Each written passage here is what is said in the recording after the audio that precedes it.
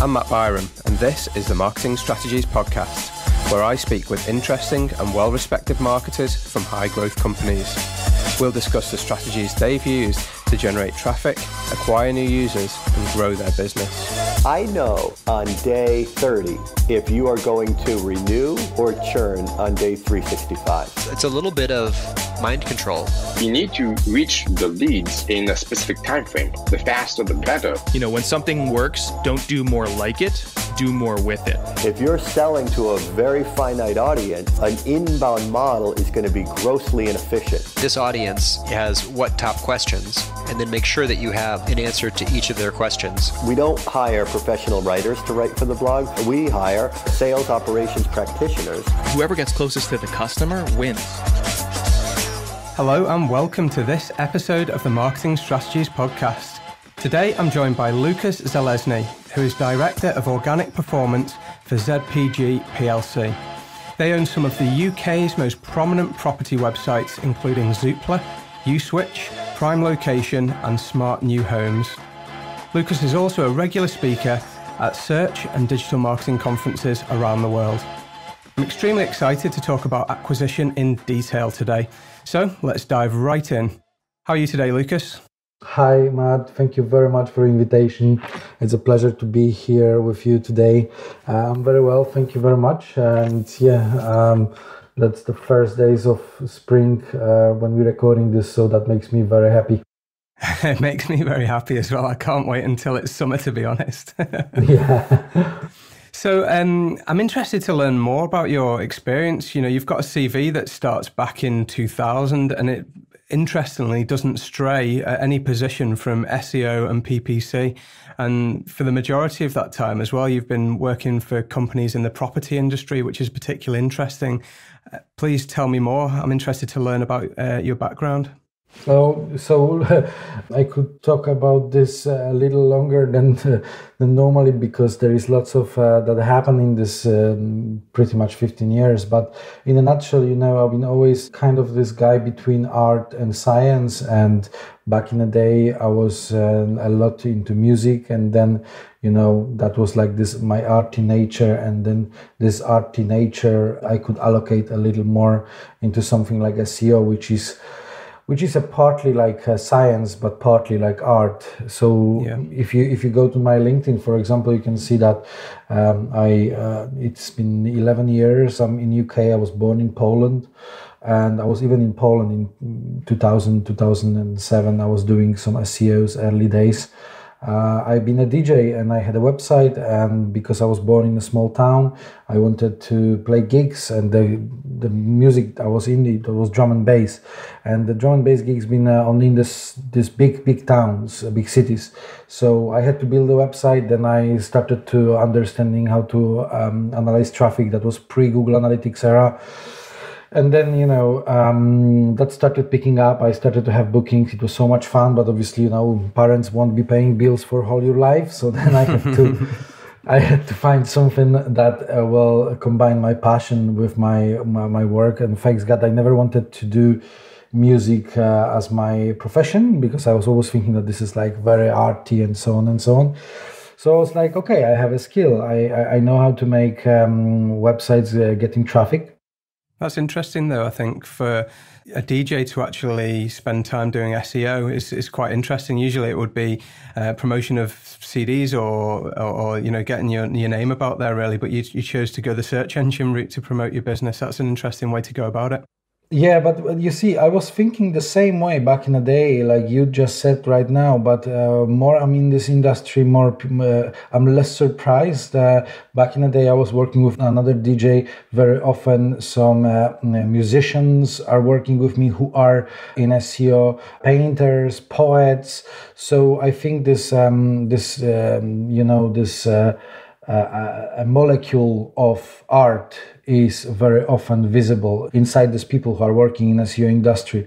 So back to the main story, I then, you know, in 2007 I moved to England and I started working first a small co- company uh, near Holborn. Then I moved to Fleetway Travel. Then I moved to Thomson Reuters. Then finally I was working in the properties for HomeAway that that currently is I think a part of Expedia and then uh, I was um, moving to to, to Uswitch, which uh, is like uh, absolutely fantastic company to work for. And as you may know, we've been acquired by ZPG three years ago. So right now, you know, it's not only price comparison websites, but also a property uh, I'm responsible for, and it's fascinating world. Yeah, because um, I guess the the company Uswitch and then ZPG they do a lot of different things. So I've seen one of your presentations uh, while I was doing some research. You saying that actually you do all different types of price comparison, which means that you get to learn about all different industries as well. So in a nutshell, ZPG owns Zoopla, and this is um, part of property division, and then you have comparison division, which is Uswitch and Money, Co UK, uh, and that's our two main branches of uh, what ZPG is currently dealing with. And for a long time, your role is mainly focused around Uswitch, is that right? That's correct. I've been for five years head of SEO for Uswitch. And your current role at the moment, does that cover all acquisition channels for the business? It covers pretty much SEO, but for different brands. So right now I'm responsible for Uswitch and Zoopla. Okay. That's really cool. And you recently moved from the head of role to the director role? That's correct, yes. And what does that change involve? You know, what does moving from the head of Uswitch to the director of Zoopla, I guess, ZPG? So, so right now, like I said, I'm responsible for Uswitch and Zoopla, and you know, obviously, my team is much bigger, and um, we have a fantastic opportunity to exchange information between teams, because uh, maybe we will get there later in this uh, conversation today.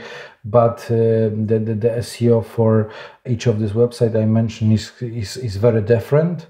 So SEO for Uswitch uh, is different to SEO for Zoopla and because of that uh, you know this exchange of information is really really cool and critical I'm interested in that. So when you say the exchange of information, it's really about the, the what you learn in doing the SEO for different businesses. Those two different, very different end goals, I guess. You switch that between teams to learn more and upgrade each other's skills as you go along. That's correct, and you know I've been very lucky that I I had um, before. First of all, I was always always working for client side, and I was working for property or listing websites uh, as well as very content driven websites. So where I was in Thomson Reuters, I was working for a brand called ContactLaw. Uh, which was very highly content driven. And then um, when I was in HomeAway, then I was working on the property websites then uh, you know right now in ZPG we have uh, which is very much listings and properties, and on the other side we have Uswitch, um, which is highly content driven.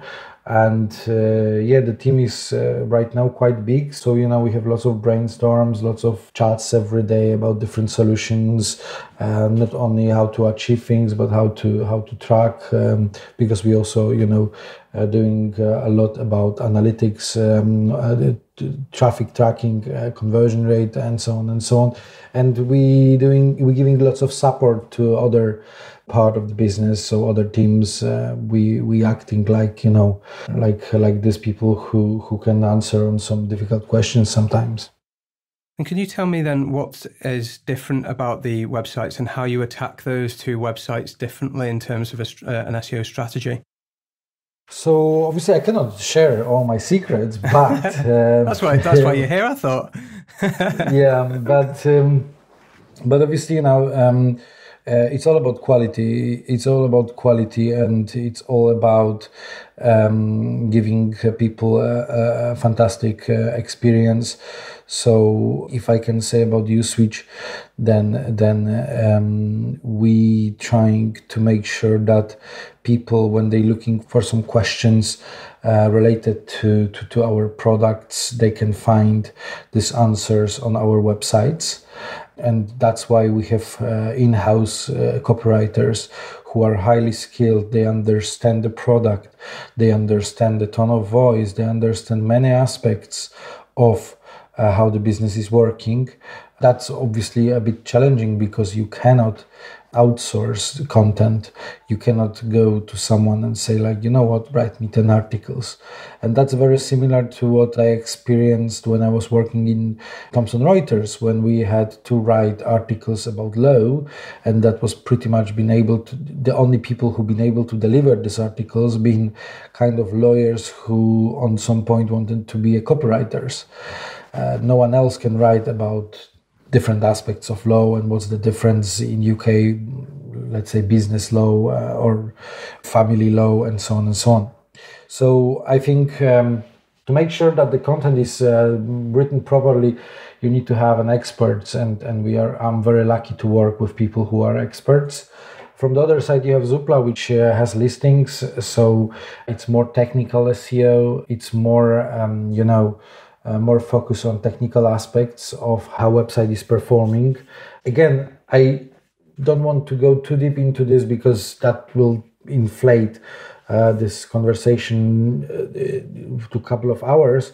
But um, obviously, you know, let me go this way. We are living in very dynamic time in terms of SEO. You may think, well, it's been 15 years. Some people even are saying like SEO that still works but um, I think uh, 2017 and 2018 been uh, extremely dynamic. So many different new things uh, appeared, so many different things become important that we as a team who are sitting every day there in office, we not only need to give um, proper answers, but also we need to educate ourselves every day to make sure that we, we, we catching all the changes and all the requirements that's dynamically changing. And what factors are you seeing as the most relevant for you at the moment? If there's many factors changing, which ones are really moving the needle for you, or which ones are you having to adapt to at the moment?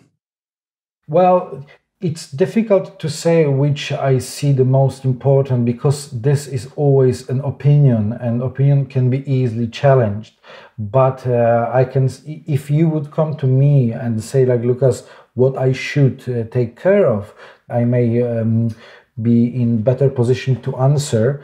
And I would say, first of all, you know, the load speed. Uh, that's one of the one of the most important. If your website is uh, really relying on content, then again, I will say this right now, and for many listeners that can be an obvious thing, but for some listeners that may not be an obvious thing. So the content must be absolutely unique.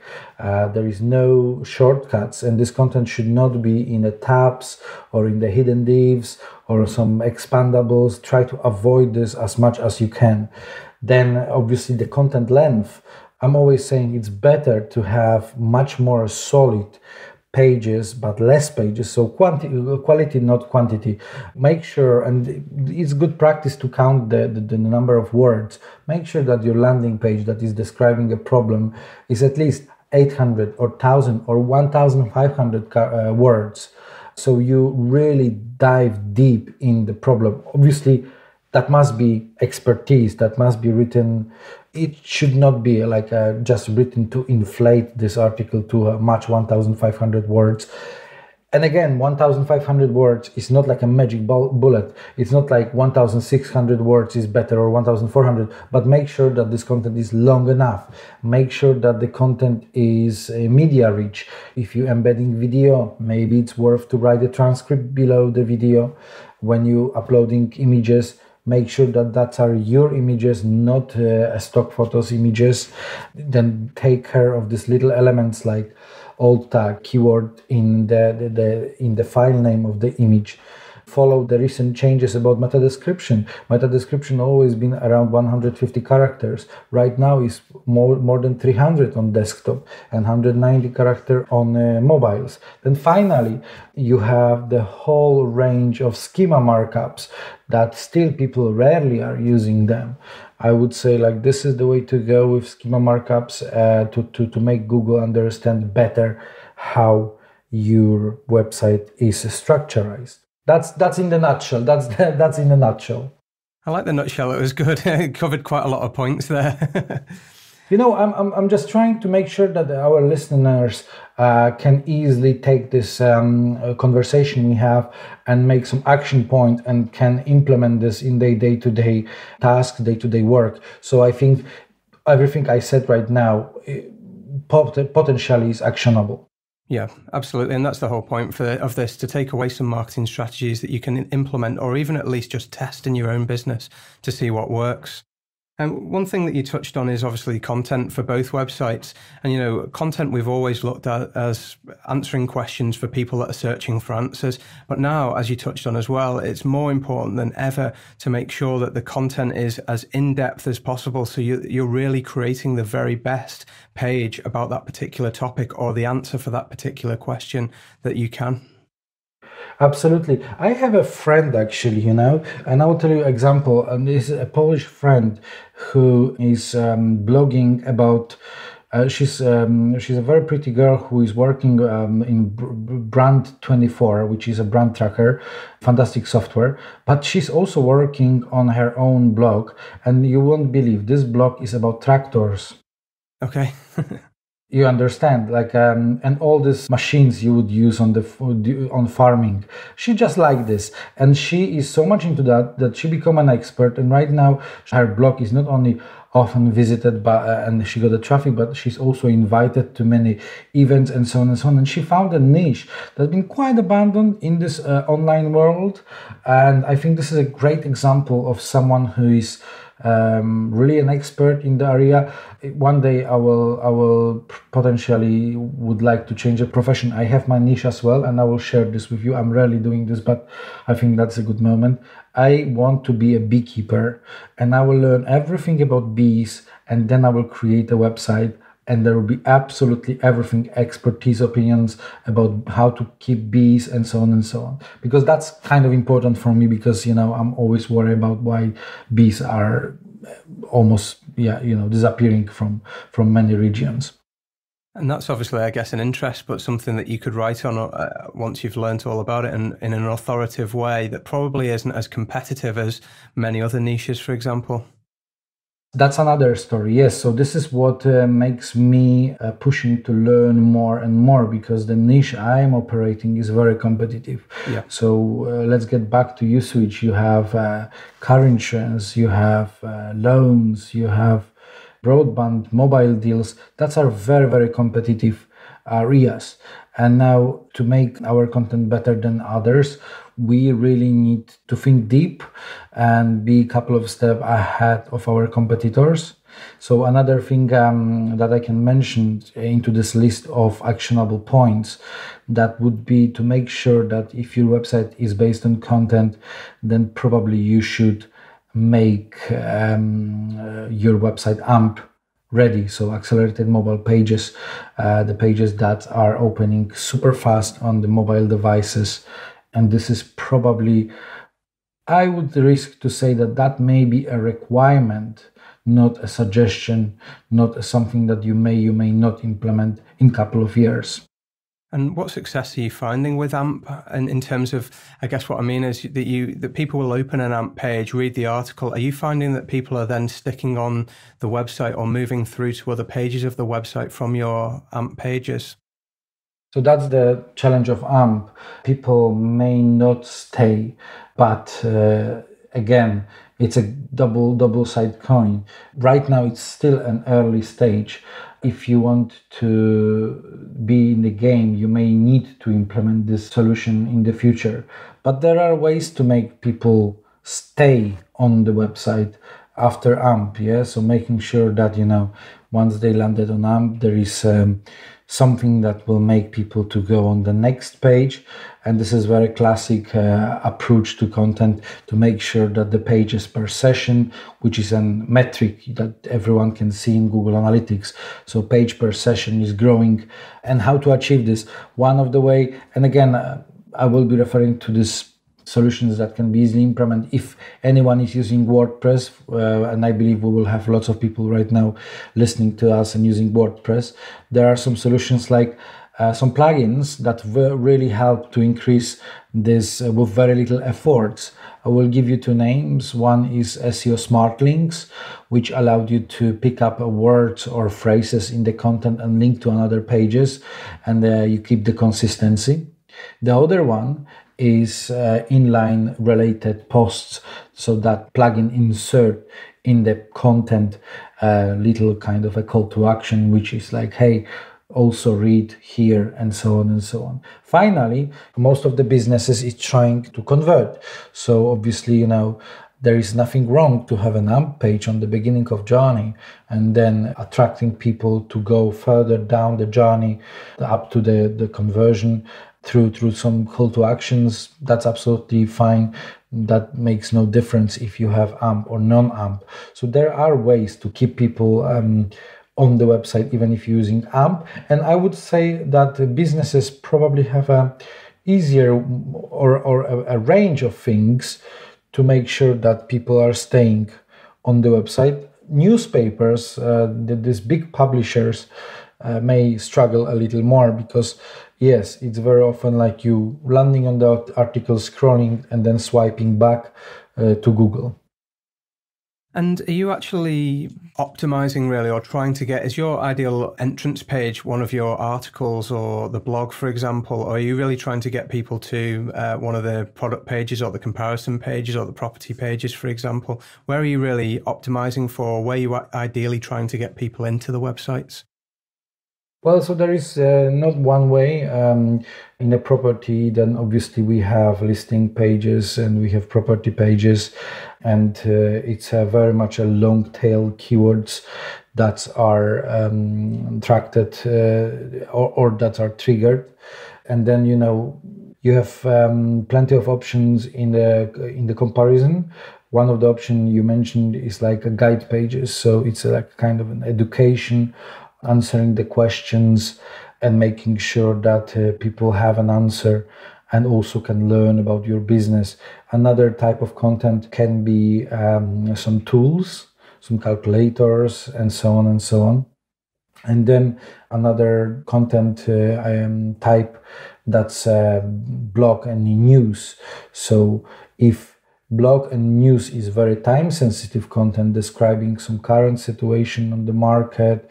You know apple is releasing new iphone uh, or there are some new tariffs uh, on the broadband.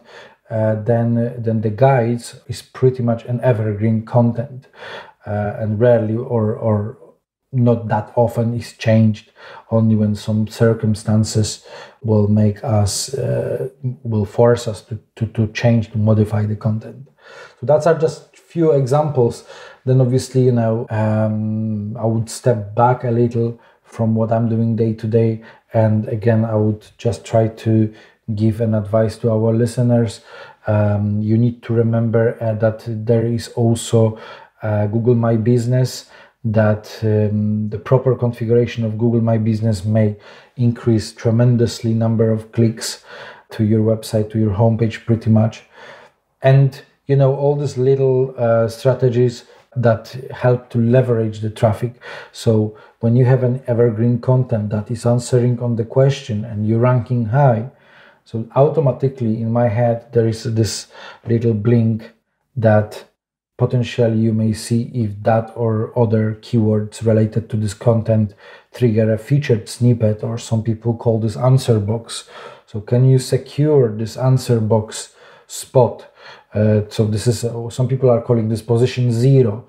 So you will be above the organic results and then also in the organic results and I guess a lot of what you've said is really ticking boxes. So it's to make sure that you're using all the different tools that Google gives you, particularly that are available, like AMP and uh, Google My Business and the featured snippets and schema and things. Really, I guess what you're saying is try and take advantage of all these different things to to give yourself the best chance of being visible and then to stand yourselves against of the, the other people that are shown in the search engine results page as well. Absolutely, and Google right now, uh, Google uh, with a new Google Search Console um, made life very, maybe not very easy, but much easier in many aspects. Uh, I think new Google Search Console is a fantastic tool uh, that gives uh, lots of powerful insights, and you know that's another tip. Uh, I'm always trying to to follow these low hanging fruits, or maybe not always, but often. Low hanging fruits um, these quick wins. So going to search console and looking on what keywords are receiving traffic but are not uh, on the first or second position, or what pages are receiving traffic um, um, relatively high but could rank higher, then going to Google Analytics and checking conversions per URL and trying to answer, hey, can we try to rank a little higher on this page and 100 other pages? Because this is when, when you're scaling up. So pick up one page, second, third, but do this like one day and then another one, another day, optimize another three, four, five pages. After a week, you have 20, 30, 40 pages optimized. And then after a month, you have, you have 100 that is really game changer for your website. Yeah, little by little, bit by bit, and you'll get there. Really, I guess is what you're saying there. Consistency. Consistency. Yeah. What, what what would you look at to optimize a page? What would be the main factors? I know we've touched on a few, which is the tools that Google gives you. But if you were looking at a page of content, how would you decide which keywords you really want to rank for, I guess, and then how would you optimize the page around that? What your main tactics or your the first point of call for you for you to look at? Uh, I really like this question. I mean, I like all your questions, but this one is one of my favorite because I'm uh, often covering this topic on conferences, uh, and there are videos on my website as well. So I have two kind of tactics. Uh, one I call gap, and the other one I call snapshot.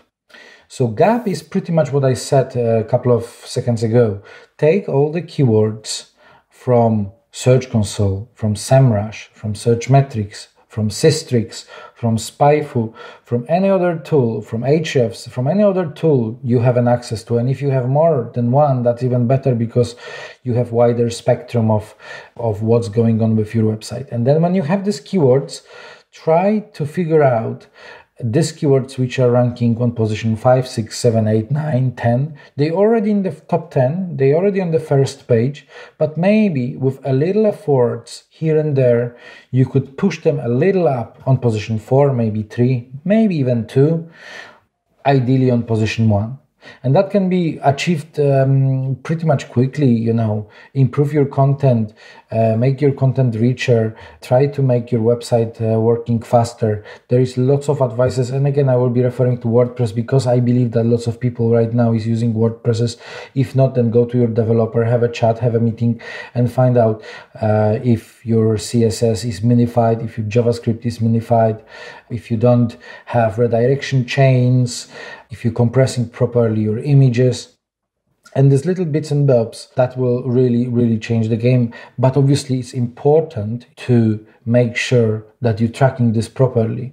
So make sure that you have constantly access to google analytics that you're using um, properly uh, granular data per url per, um, for example per url per uh, traffic source so organic and specific urls and so on and so on. And that was a snapshot. The, the other one is gap. And gap uh, is uh, pretty much finding gaps in content or in any any type of content. It doesn't need to be just the guides. It can be tools. Can be anything else between you and your competitors. And ideally, when you're looking on a competitor that is bigger, stronger than you. So there is a SEMrush right now which implemented this, uh, so you don't need to use even like an Excel. But um, how it works, it's pretty much like you need to pull keywords from two websites or three websites. When one of these websites is yours, the two others are competitor, and you can say in the SEMrush, "Hey SEMrush, show me keywords where I am not ranking, but these two other websites are simultaneously ranking in Google Co UK." And if you have too many keywords, then you can narrow this to say, show me keywords that I'm not ranking, but these two other websites are, are ranking in top 10. And then you can export this to Excel and you can even uh, start filtering by URLs or deeper look. And that way you can simply find that, okay, these two guys wrote about something, about a topic that, uh, that uh, I have never thought about so it's a very um, interesting uh, exercise, not only for an SEO, but also for a business.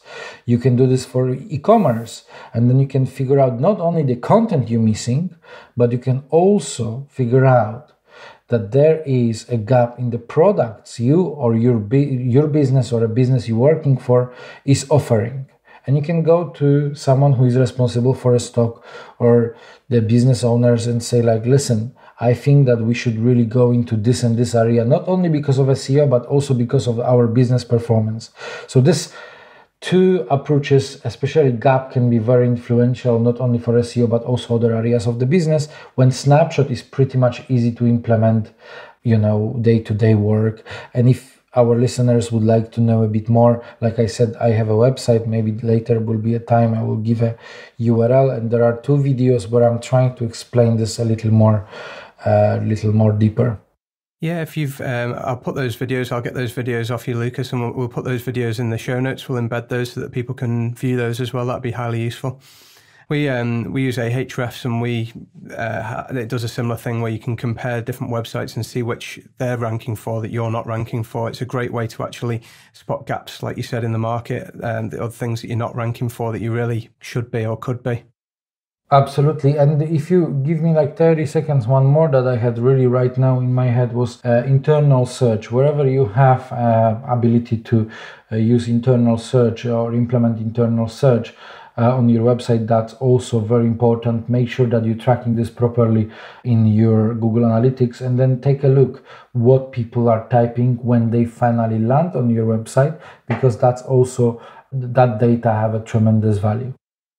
That's great. Like, say, for example, we've got a piece of content and we feel like we should be ranking for a particular keyword, but actually we're ranking in, say, position seven, and we feel like actually the piece of content could be ranking higher. How would you actually suggest that people, or what could you suggest that people do to influence that position ranking from seven to, say, the top three? So when you are seven, then probably there is six other websites above you. And I would start probably on looking on their websites what I like about the website that took over me, why potentially they are ranking higher than me.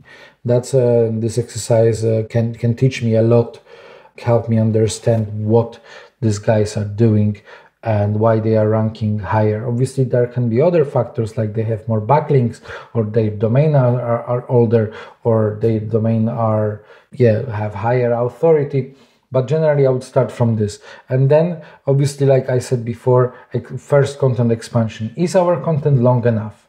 And if imagine that if our content is long enough then we can go into uh, what i call clusterization or building mini apps around some terms. So i will give you an example. If you're thinking about holidays to egypt then obviously there is a hub that is called Egypt, and inside there will be Hurghada, there will be Cairo, there will be plenty of other destinations that are kind of linked to Egypt, but that are more specific destinations. And pretty much most of the websites are building the structure, the, the architecture of the information that there is like www.example.com slash Egypt slash Hurghada or like holidays.com slash Spain slash Barcelona and then slash Madrid.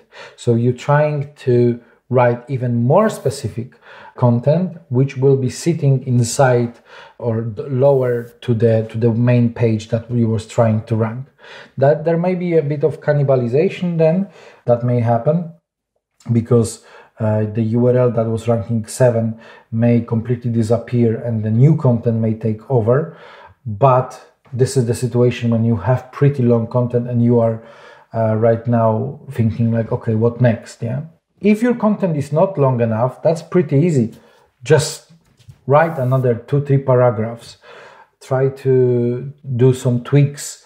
Make sure that you know maybe the intro of the article already contain some terms you would like to rank but do this carefully because obviously you don't want to go into anything like keyword stuffing and over and over and over using the same phrase because that's definitely uh, won't help. That's not anymore uh, 90s when that's te- pretty easy techniques were working. Make sure that the page you want to rank is also properly linked from other pages.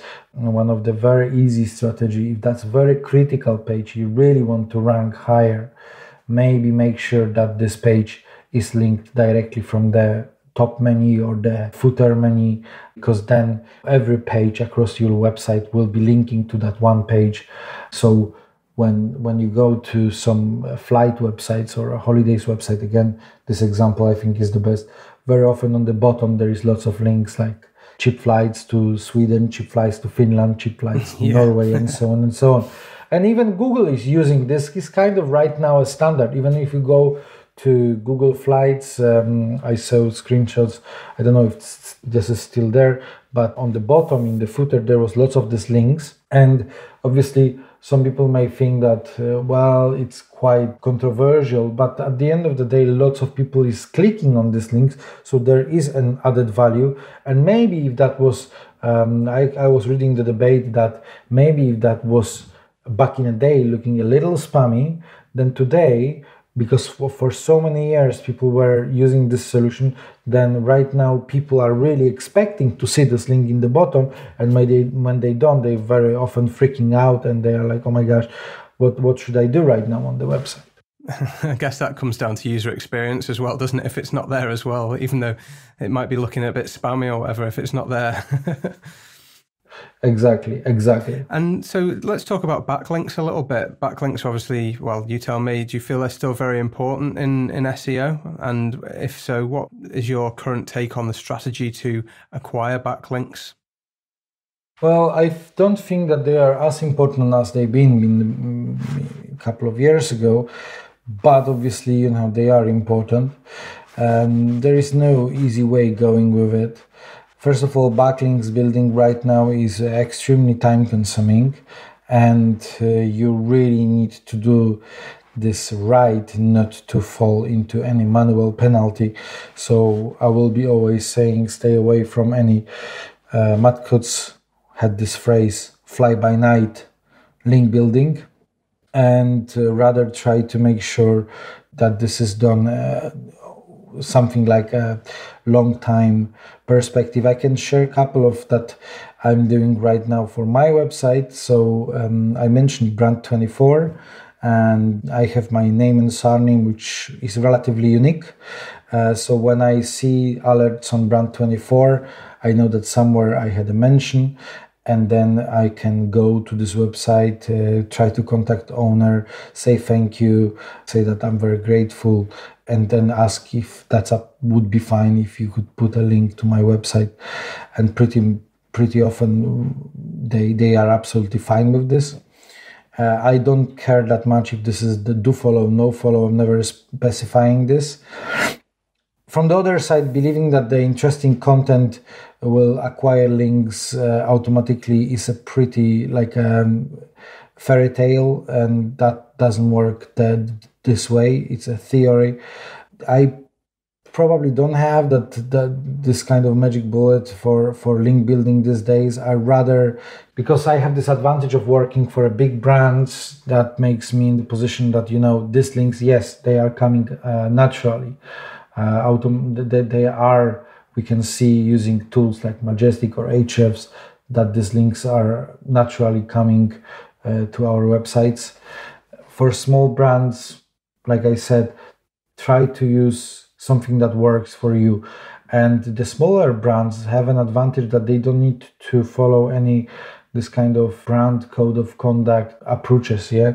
So for a small brand it's much easier to contact someone who mentioned that brand and say like hey thank you very much. Maybe you can link to me. For big brands that very often wouldn't look good. So yeah i know that it's not a perfect answer but that's probably the best answer I have at the moment. That's cool. And I guess uh, I, I just dip in for the listeners. One of the things that we've found most successful over the last few years actually is actually, I guess, creating content that people really want and would link to. And what we've found to be most successful is creating content that like uh, research, so data and statistics, unique data. So we um, poll every year our customers and uh, social media and the wider world to ask them how they're using videos. So our, our business. My business is in the explainer video niche, which is a small niche, but definitely booming at the moment with the importance of video. And we ask people how they're using uh, video. So customers uh, from the consumer point of view and businesses from the business point of view, how are they using video and how are things changing year over year? And we get tons of really, really interesting statistics. And these are, uh, are linked to by people using those statistics in blog articles and other places as well. And we find that's a, a great way for us to not just generate links, but really uh, authoritative links and also to generate traffic and relationships as well with brands that want to use our, our statistics and data. I, I, I, couldn't agree more with you because you mentioned, especially you mentioned this word relation. I think that's right now a very, a very important uh, to, to, to have. Uh, it's more about relation than like just short uh, shortcut. One thing that uh, you reminded me often I'm receiving this request to participate in um, roundups. Yes and I'm receiving this from random sources. Obviously, I'm always uh, always trying to give uh, my best answers. That also um, delivers um, some links to my website. And finally, biographies, which um, been many years ago, I think Point Blank SEO said about this. Um, so so because I'm speaker at the moment, so every time I am giving my biography, there is a link. Very often when the the, the conf- event owner is uploading this on their own website this link is preserved so that also leverage um, backlink profile fantastic and so I'd like to just bring this back to uh, your businesses, your, your, the ones that you, the brands that you manage. Sorry, and I want to ask a simple question, which has probably a big answer. But over your time with these brands, what has been the thing or the few things that you've implemented that have given you outsized results? What's really worked well for you as a business? Um, and is there anything that the listeners could then take away from that? I think um, when we noticed that there, there are these new solutions like uh, answer boxes, featured snippets, uh, that I would say that was one of the most important lesson for me because um, as you know how the answer boxes are working, there is no magic trick in HTML. There is no a tag that you can add and magically appear. There is a kind of Google artificial intelligence that is deciding who can be in this answer box, and there is only one answer box on on on a specific keyword. So that make us thinking more about how Google wants us to to tailor this content and how to maybe use uh, even simpler language um, for some questions and answers that people will may may understand this better. So that was one and and the other one that was always working very well it was um, you know taking care of all the technical aspects across the whole website. So i am a big fan of uh, deep crawl software that is probably kind of industry standard these days. Um, and i'm crawling website with passion and uh, you know the, uh, i love crawling websites. So uh, i'm crawling a lot. And what tool are you using for that? Uh, deep crawl. Okay deep crawl cool. Yeah deep crawl and uh, yes i think they're doing absolutely amazing uh, amazing job. So so i'm crawling um, website and that gives me a pretty nice view on what's going on with all the technical aspect and all the you know these little bits and bobs that should be fixed. What i really like is to go selectively so crawling only one part of the web, website um, one section of the website. I'm trying to slice it and then you know i can have a nice granular view uh, so these two things I would say because I don't want to repeat anything what I said before, but uh, but these two things um, I would say have been very important for me. Thanks very much. And I guess we've talked a lot about acquisition, SEO particularly, and I'm interested to take that forwards, I guess, then to how do you track the results? What what are the important metrics that you look for and what tools are you using to track those metrics? So uh, there are right now on the market plenty of tools like SEMrush, like Searchmetrics, like uh, that can tell a lot about rankings. But I am not a, that big fan of rankings anymore because that is kind of um, not not whole picture. I rather try to focus on what I see in Google Analytics. Uh, that's my primary source of information, and uh, what I'm looking on is very often what I called uh, organic traffic and organic non-bounced traffic. And then when you have these two metrics, you can compare them year to year because obviously that makes perfect sense to compare year to year when you have this predictable fluctuation over the year. So imagine when you know what is your non-bounced organic traffic in January 2018, then you can compare this with non-bounced organic traffic in 2017.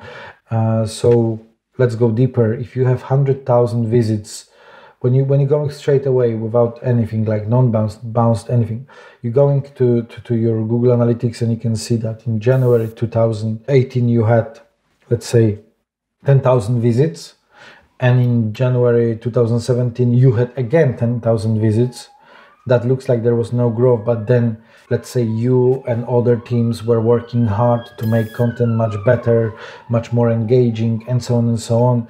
And the bounce rate been decreased by 50% then when you stripe all these bounced visits and you compare once again you will see amazing uplift. So that would be the one approach. And obviously the other approach is like uh, going granular way per urls per traffic source which predominantly is an SEO, uh, and looking on the factors like a conversion rate, revenue, and conversion volume. And then again, comparing this to previous year, the, the year after previous year, because uh, that is giving much more context. I'm trying to keep these things quite simple. I remember someone long time ago, many years ago, told me this rule, which sounds KISS. Keep it stupid simple. so so or simple stupid. Yeah. You see, I'm trying my best, but it's stick somewhere in my brain, you see. And I'm trying to avoid the word stupid. I'm I was keep it super simple. Keep it super simple. I don't want to make politically correct. Yeah, I don't want.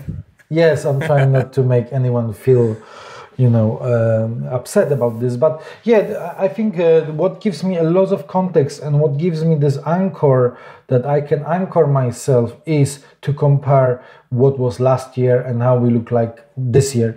Obviously there are also uh, forecasts and, and and and that's also important. And some of the listeners may be a bit upset because they may not have this previous year data I know that's difficult because you cannot anchor yourself anywhere. And even if you start, you have the first year and then uh, you are in the second year of the website existence, then you may see like thousand percent growth because there was pretty much zero in last year and right now we have a couple of thousands, so that artificially inflate.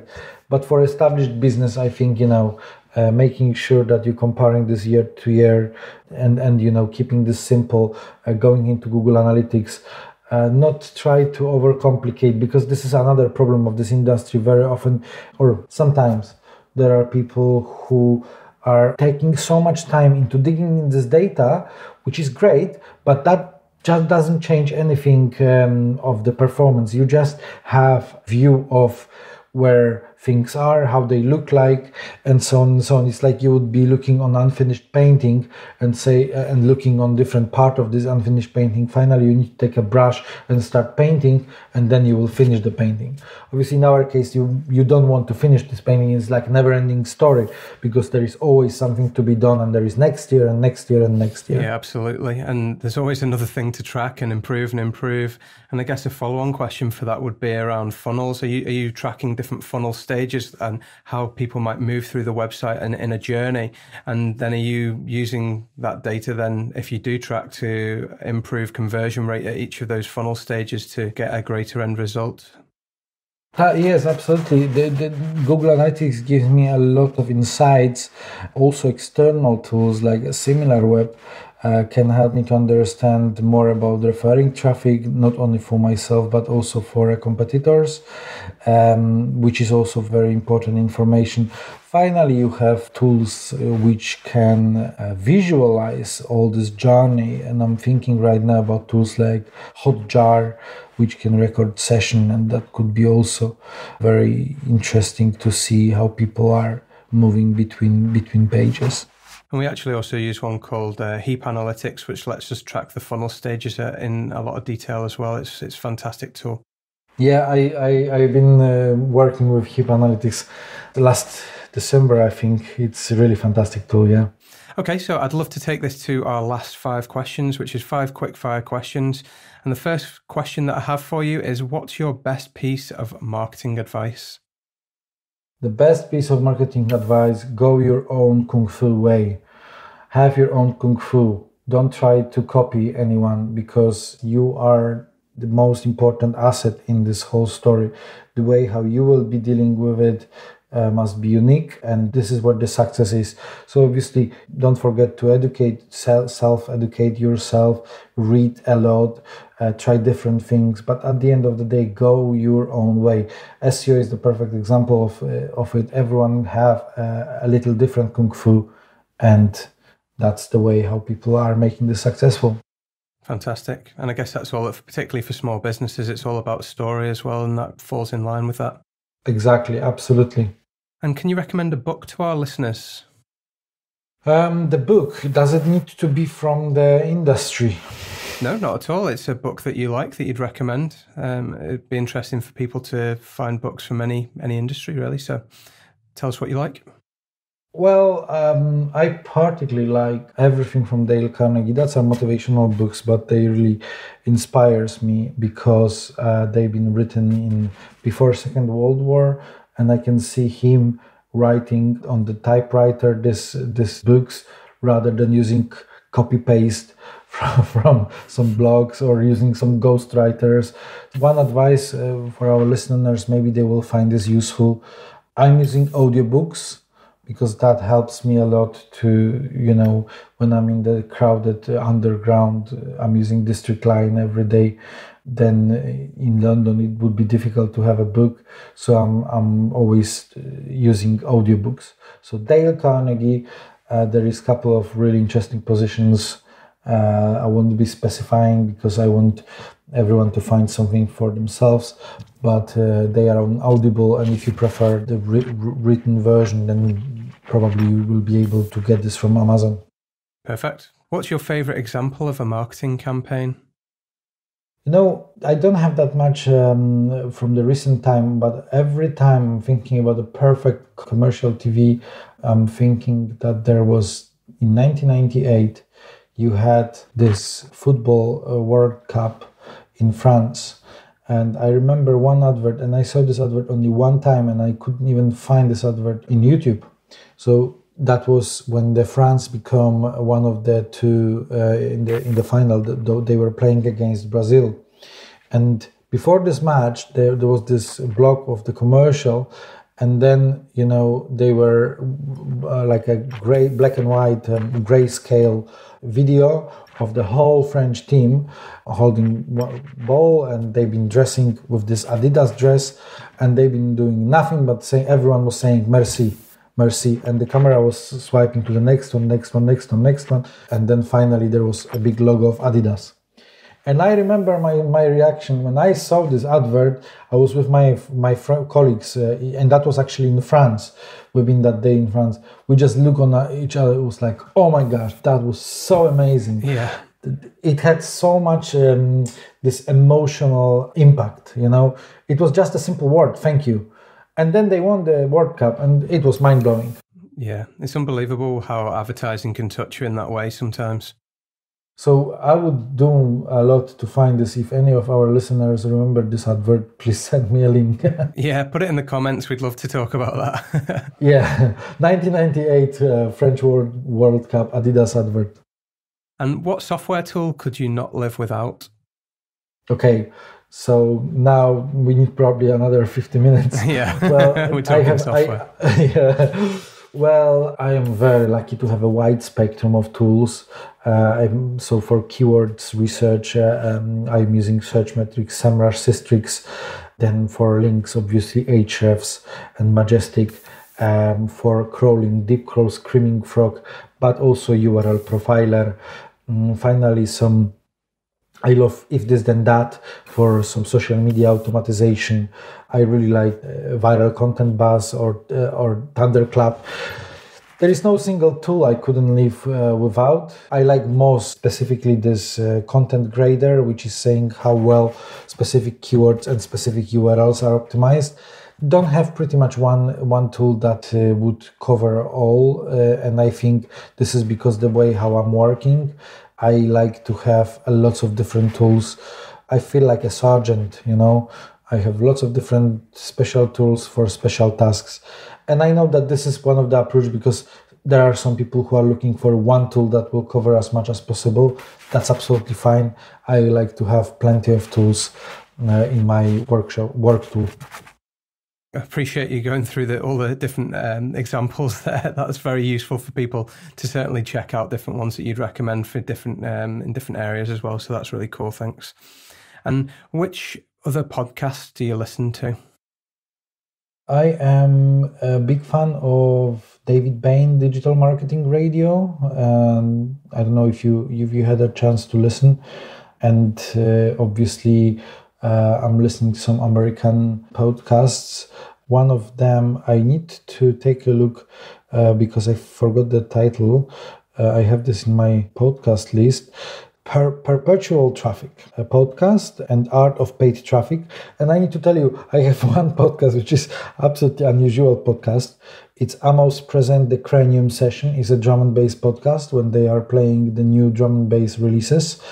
And I had the pleasure to be once there with my my track. Oh, And I'm sometimes, yeah, it's a very unusual uh, approach to have a podcast about drum and bass, but there is a couple of.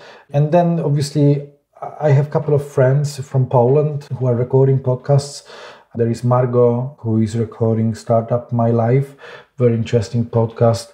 Again, like um, this is in Polish, so whoever is listening to us uh, and speaks Polish, I would recommend Startup My Life. Excellent. Well, that's fantastic. Thank you very, very much for all your wonderful insights today. It's been a pleasure speaking to you. And I know that the listeners will have uh, got all sorts of different takeaways from today's episode. So thank you very much for taking the time. And I've really enjoyed speaking to you today, Lukasz. Thank you very, very much for invitation, and it was uh, amazing one hour. And I hope uh, you know in the future uh, we will be in touch. Uh, maybe some other topics we can share um, during that session.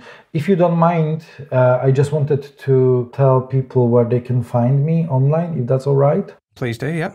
Yeah, so you know, I'm a I'm a, I'm a big big fan of LinkedIn. Uh, on LinkedIn, Lukasz Lukasz Zelezny. There is pretty much one, and I have a website uh, zelezny.uk. Uh, so there are these videos we were mentioning. So if anyone have any questions, uh, suggestions, or would like to say like, no, Lukasz, I don't agree with this, then I will be very very happy to receive some feedback. Absolutely. And I'll put links to uh, everything that you just mentioned there in the show notes on mattbyrom.com as well. So if anybody wants to go there and get all the details as well, and um, as well as links to Lukasz's website, then you can do that too. Fantastic. Thank you very, very much once again. And it was amazing one hour. Thanks, Lukasz. Take care. Thank you all for listening today. If you enjoyed this episode, please subscribe and share with your friends. I'd also be extremely grateful if you could rate and review us on iTunes or the channel you get this podcast through. Next week, I'm joined by Nadya Khoja. We discuss content creation, promotion, and ways to hustle as a small marketing team. So until next time, I've been your host, Matt Byrom.